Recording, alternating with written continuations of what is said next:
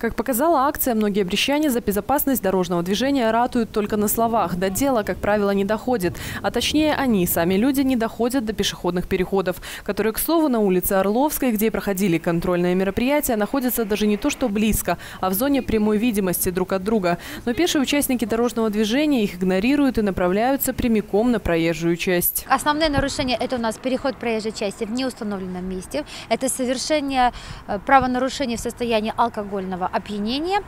И в том числе не использование световозвращающих элементов в темное время суток. Самое страшное в этих дорожных авариях, что в 60% пешеходы гибнут под колесами транспортных средств. Причем в большинстве случаев из-за своей беспечности. Ни в коем случае не хочу никого сегодня обвинять, но буквально в первые минуты проведения нашего мероприятия вы обратили внимание, что пешеходы ходят как хотят и где хотят. О том, что такие нарушения здесь регулярны, свидетельствует не только большое количество нарушителей за относительно непродолжительный период проведения акции, но и специальные дорожки, которые протоптаны жителями близлежащих домов к проезжей части, буквально в нескольких метрах друг от друга. А между тем, такое упорство при нарушении правил поведения вблизи и на проезжей части может стать не только причиной аварий, но и солидных финансовых издержек.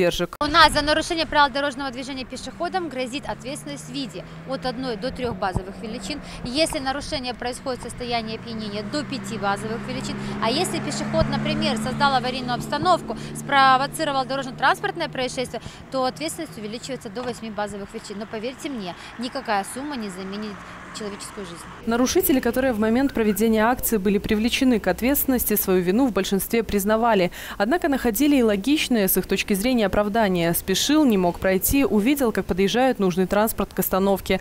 Но многие из них даже не подумали о том, какой опасности подвергают себя из-за нескольких выигранных минут. Я всегда стараюсь, и мужа тоже ругаю, чтобы всегда ходил по переходу. А вот сегодня просто палец болит очень, честное слово. Думаю, ай, уже как-нибудь. Сюда-туда глянула, вроде никого. Конечно, нельзя. О чем там говорить? Столько аварий на дорогах везде, и нарушать нельзя, конечно больше не буду. Избитая фраза о том, что дорога – это зона повышенной опасности, со временем не теряет своей актуальности. Наоборот, транспортный поток только увеличивается и наращивает свою интенсивность. И думать о безопасности в такой ситуации в первую очередь, конечно, важно владельцам железных коней.